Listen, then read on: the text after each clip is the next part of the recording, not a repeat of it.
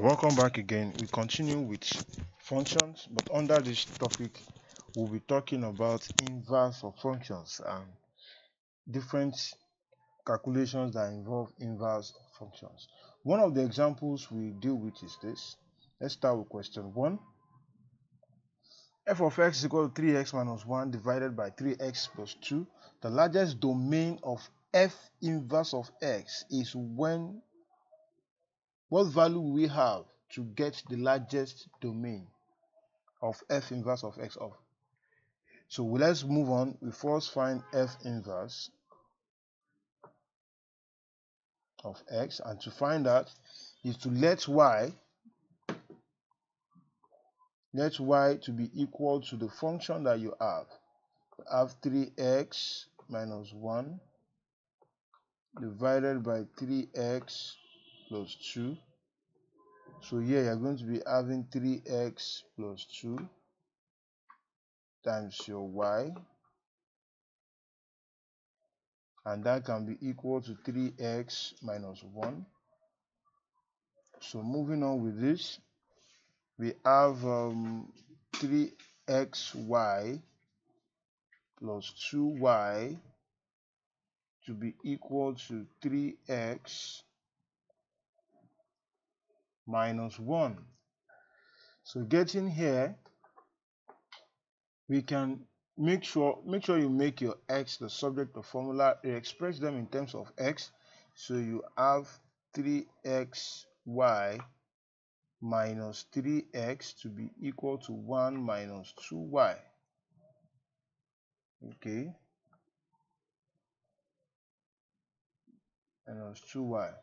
So what do we have? We have x open bracket 3y minus 3 will be equal to 1 minus 2y. Then our x can be equal to what? 1 minus 2y upon 3y minus 3. So we can write this at the right hand side let everything y there represented substitute for x. So we can say our f inverse of x can be equal to what? 1 minus 2x upon 3x minus 3. So we now finalize by answering the question. Let me come back here. So the question says what value of inverse of x can give us the largest domain? That is when we, it's like we are looking for when this function or when the inverse of this function is not defined. It's not defined. That means here we can say that is when 3x minus 3 is not equal to 0. That's when we can have the largest domain. So that means what? We can have our x. That is when the x is not equal to what? Um, okay. So that's when our x there, you have 2x, okay, 3x minus 2. Okay. Okay, I think I should have 2 here. Mm, coming. 3x minus. Yeah so as when that should be when 3x minus 3 is not this is when x is not equal to 3 over 3 and that means when that is when x is not equal to 1 yes. This is when you have the largest domain. Let's move to question 2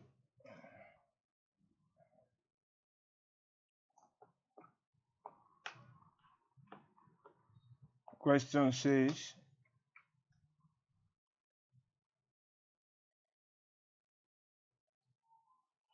Two functions f of x and g of x are defined on the set of real numbers by f of x equal to this, g of x equal to this. Find f inverse of 2. To find f inverse of 2, you first find the inverse of that function before you find f inverse of 2. Okay, f of minus 2 Okay, this is f of minus 2. Good. So just substitute. So since you have your f of x, to be equal to 2x squared minus 2 f of minus 2 will be equal to 2 open bracket of um, minus 2 squared then minus 2 and that should be 8 minus 2 and that will be equal to 6 so that's settled. Then the past the next one the g inverse. First find the g inverse of that function. Inverse of um, g of x. What would that be? How do you find that? You let y to be equal to what? Your g of x. What's the g of x? X plus 5 so you make x right of formula. X will be equal to what? Y minus 5 so g inverse of y there can be equal to what? X minus 5 so now the g inverse of um, minus 2 over 3 just substitute that there you have oh sorry I should be having um, x here. So that will be minus 2 over 3 minus 5 over 1 taking the LCM 3 minus 2 minus 2 here 3 minus 15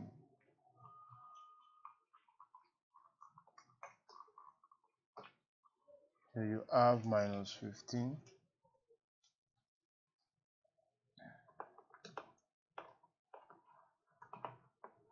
so minus 2 minus 15 so the g inverse of minus 2 over 3 can be equal to minus 17 upon 3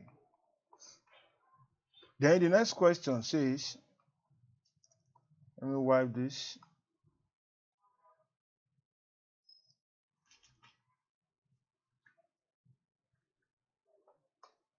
So you have the next one to say that the value of x for which g f of g of x equal to g of f of x. What is f of g of x? So for the f of g of x, what is g of x? g of x is x plus 5 to be equal to g g of f of x and f of x is 2x squared minus 2. So what do we have? Let me just wipe this place in preparation for what I'm bringing in. So here we are going to be having what? You have this, the f of x plus 5, okay? That will be equal to what? Where is our f of x? Our f of x is 2x squared, so you have 2 open bracket x plus 5 squared minus 2 that should be equal to what?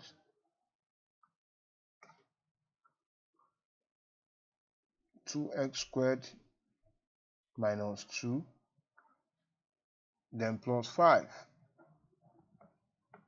so here you're going to be having two open bracket of what? X squared plus 10x then plus 25 then you have plus 2 here. That can be equal to what? 2x squared minus okay plus plus 3 so here what do we have now? We have 2x squared plus 20x plus 50 then plus 2 that should be equal to 2x squared plus 3 so what do we have? We have um, 2x squared. We cancel x squared this and this they are gone so what do we have left I have 20x plus 52 mm -hmm, to be equal to 3. So I have 20x to be equal to minus 49. By collecting like terms, you should have minus 49. Then dividing both sides by 20, this cross out this, so our x can be equal to, nothing can break this down, minus 49 upon 20. This is when your f of g of x be equal to g of f of x. So thank you for staying with me. Have a nice time.